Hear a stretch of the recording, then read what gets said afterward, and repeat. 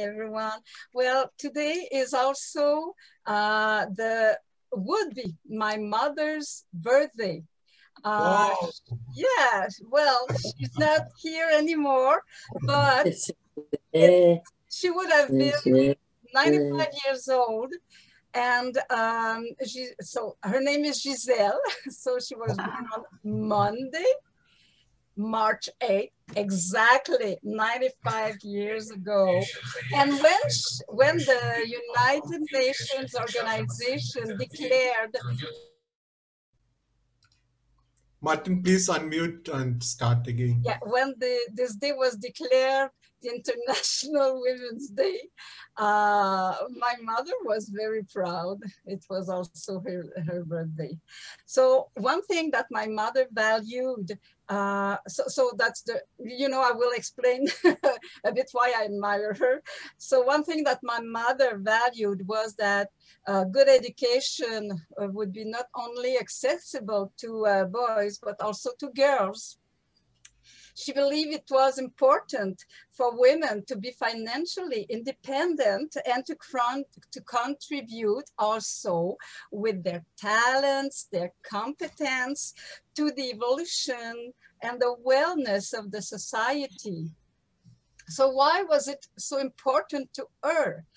At age 10, she had to quit school and go back home uh, to help her mother in taking care of her siblings, as she was the third of 11 children.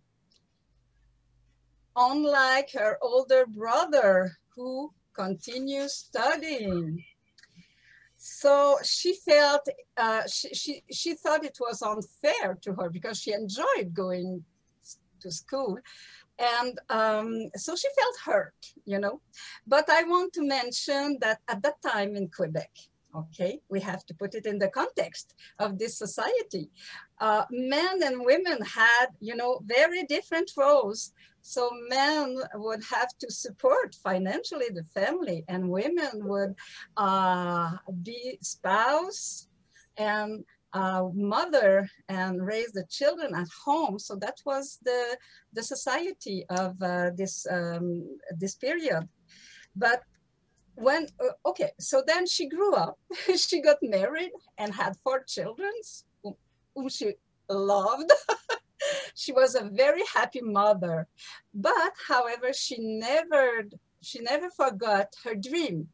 And at age 50, she went back to school to finish her elementary degree at the adult classes. And then, and it was in the evening, you know, after the household uh, day. So she went to the school and she then finished the elementary school, the high school, and she took the secretarial school.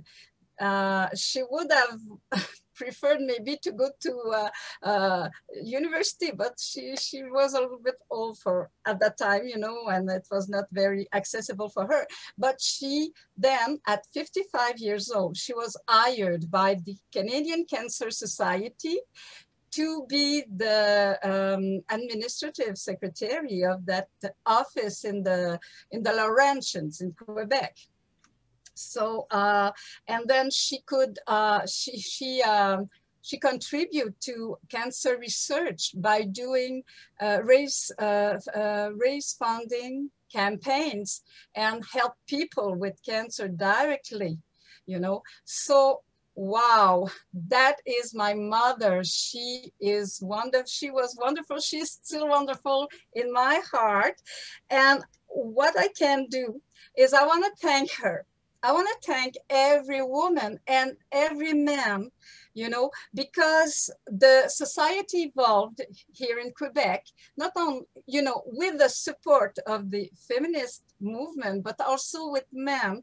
And the and how uh, now the education is accessible to all women. And i have a good career because i i could have i could go to the university.